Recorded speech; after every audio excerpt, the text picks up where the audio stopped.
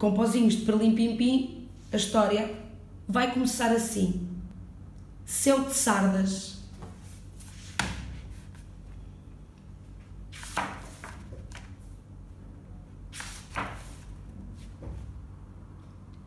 A Sofia tem pintinhas.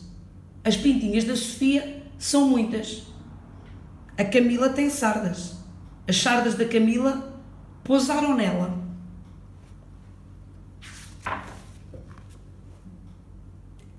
A Camila contou à Sofia que foi a Via Láctea que caiu em cima.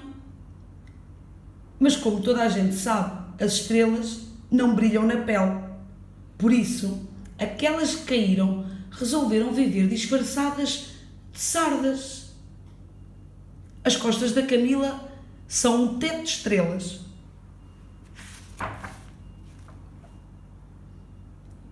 Entre as pintas da Sofia há muitos caminhos possíveis.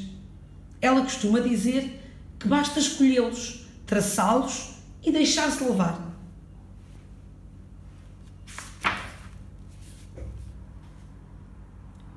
Para não se perder, a Camila inventa um mapa. Entre duas pintinhas, viaja do cotovelo ao ombro da Sofia. Depois, atravessando quatro pintas acidentadas, sai do mar das costas até à falésia do pescoço, passando pela onda da coluna.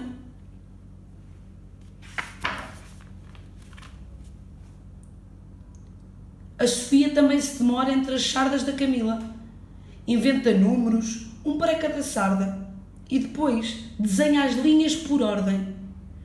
Pouco a pouco começam a surgir todo o tipo de personagens e.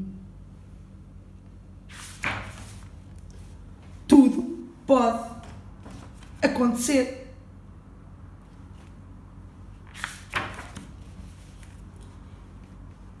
É este o jogo de que a Camila e a Sofia gostam mais.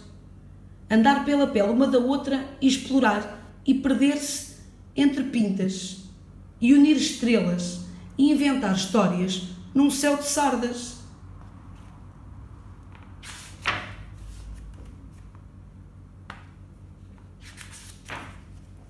Vitória, Vitória, acabou-se a história.